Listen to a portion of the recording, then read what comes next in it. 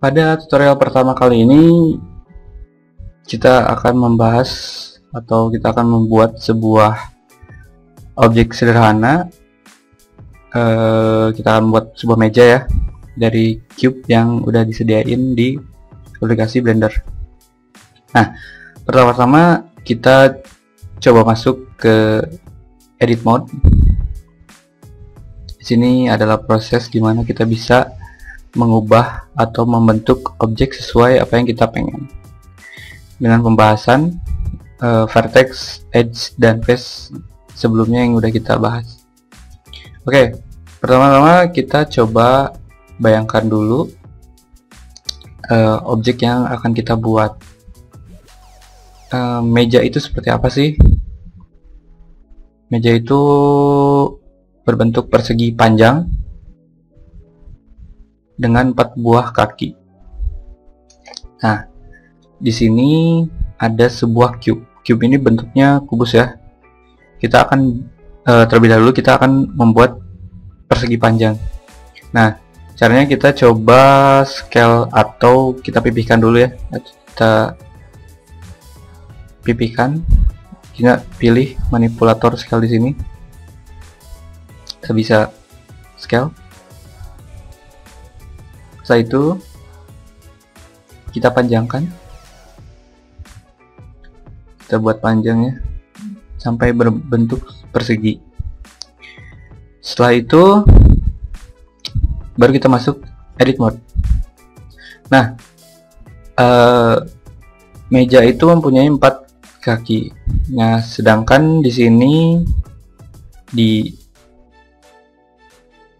proses atau di face selection ini kita cuman punya satu segmen aja Nah, sedangkan kita buat eh kita butuh empat segmen. Di sini, di sini, di sini sama di sini. Jadi satu, dua, tiga, empat. Agar kita mem, uh, agar kita bisa mendapatkan empat buah kaki yang kita pengen. Nah, cara untuk menambahkan segmen baru kita bisa akses di sini loop cut and slide. Di tools ya kalau nggak ada diklik tag tools. Di sini ada loop cut and slide. Kita bisa klik terus kita arahin ke sini ya. Nah ini ada garis pink. Kita bisa uh, akses si garis ini bisa menjadi garis horizontal atau vertikal sesuai kursor yang kita arahin ya misalnya kalau si kursornya kita arahin ke sisi ini dia akan menjadi horizontal. Nah kalau di sini dia, dia akan jadi vertikal. Nah kita butuh empat vertex yang berlawanan ya. Dua vertikal dan dua horizontal. Nah untuk yang horizontal ya untuk yang vertikal kita pilih di sini ya. Untuk menambahkan si uh, segmennya. Kita bisa scroll. Ini ada dua ya untuk nambahin jumlah kita bisa scroll terus sampai jumlah yang kita pengen. Nah kita butuh dua sedangkan kita butuh dua. Diklik kalau udah diklik ya. Nah ini kita bisa geser-geser tapi karena kita butuh uh, ini di tengah kita diklik aja klik kanan. Setelah itu kita geser. Kalau ke sini sama ke sini kita kan nggak bisa ya gesernya.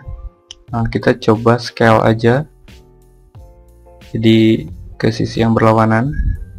Nah kita juga butuh dua segmen yang uh, horizontal. Sini loop cut and slide pilih sini klik. Udah gitu kita scale lagi ke sisi yang berlawanan. Nah jadi kita udah punya empat uh, face yang kita pengen untuk membuat sebuah kaki Nah, kita lihat ke arah yang di bawah ya, ke sisi yang bawah. Kita masuk ke face selection. Kita pilih face-nya ini. Untuk menseleksi face yang lain sambil tahan shift, diklik, diklik, diklik. Setelah itu kita coba extrude. atau menumbuhkan si segmen yang udah kita seleksi tadi. Di sini ada option extrude region. Kita bisa pilih dan klik.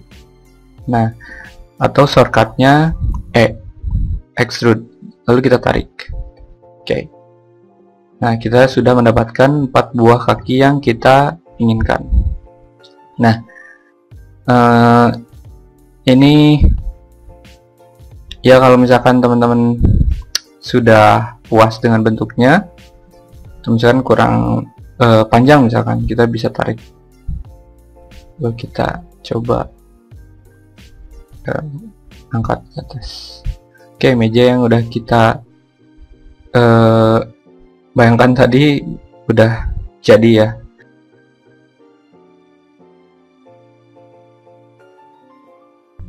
oke okay. uh, eh, objek selanjutnya kita akan membuat sebuah kursi. Nah uh, caranya hampir sama dengan pembuatan meja. Kita buat uh, persegi lalu kita membuat empat buah kaki. Mungkin nanti yang membedakan kursi dan meja kursi mungkin mempunyai sandaran ya. Nah, pertama-tama kita coba pindahin dulu si meja ini ke layer yang lain agar kita bisa fokus pada satu objek aja. Nah, untuk pindahin meja tersebut ke layer yang lain, kita bisa uh, pindahkannya di sini ada kotak-kotak ini maksudnya layer. Jadi uh, meja ini ada pada layer pertama di sini. Nah, layer kedua ini kosong, selanjutnya kosong. Nah, kita bisa pindahin uh, meja ini ke layer 2 caranya klik M di sini ada move to layer kita tinggal klik layer yang kita inginkan. Misalkan di layer 2 nah meja tersebut sudah pindah ke layer 2 nah kita akan membuat kursi.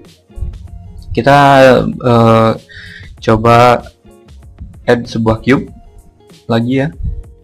Nah mungkin bedanya kalau tadi meja itu persegi mungkin kalau untuk kursi ini agak kotak ya. Jadi kita butuh cube aja. Setelah itu kita pipikan. Kita buat dudukannya ya. Oke segini cukup. Nah setelah itu kita masuk edit mode. Nah caranya sama ya kayak tadi. Ctrl R atau loop cut and slide. Nah, si shortcutnya Ctrl R ya. Kita arahkan segmen eh ke sisi bagian mana yang membutuhkan segmen. Misalnya di sini. Nah, kita butuh 4 eh, segmen, dua vertikal dan dua horizontal sama kayak tadi meja.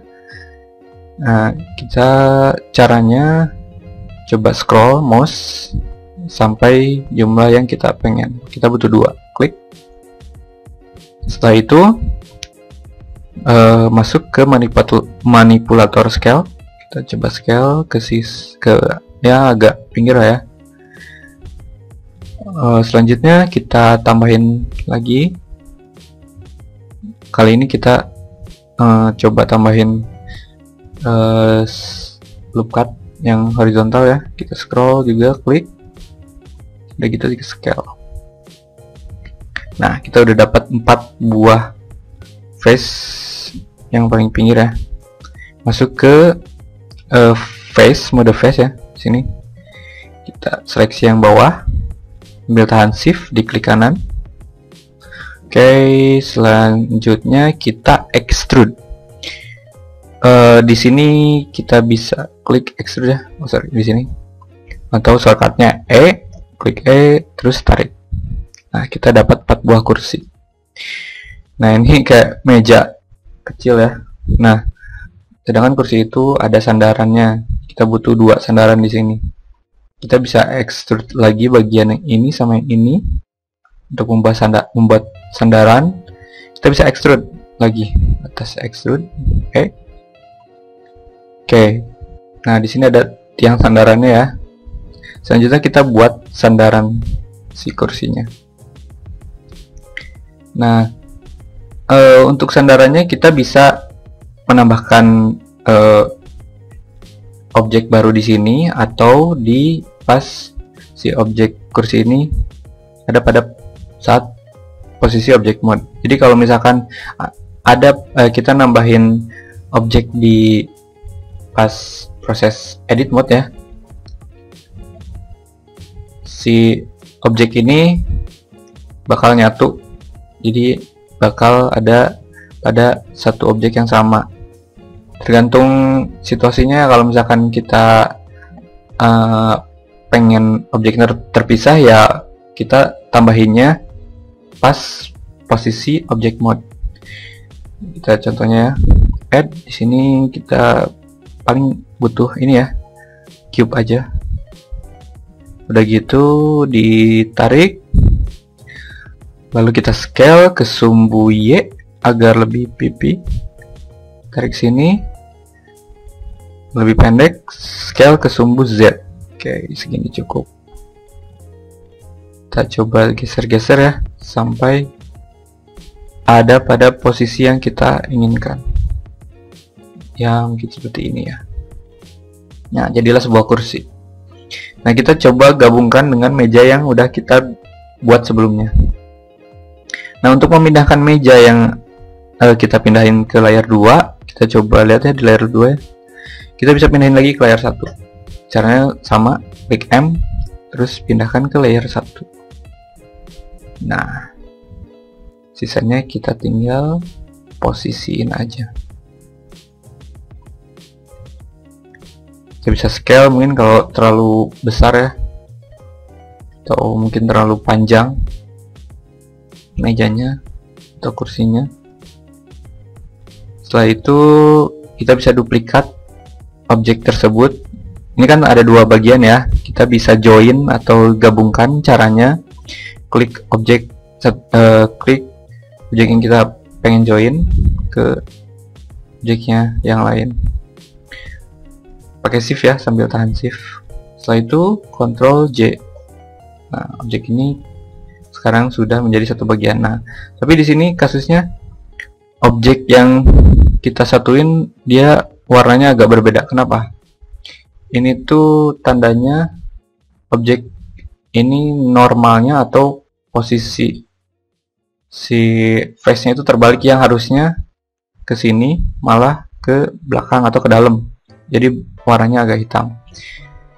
Nah cara untuk uh, uh, menormalkan ya jadi agak agar face-nya kembali ke posisi yang normal kita pilih si objek ini.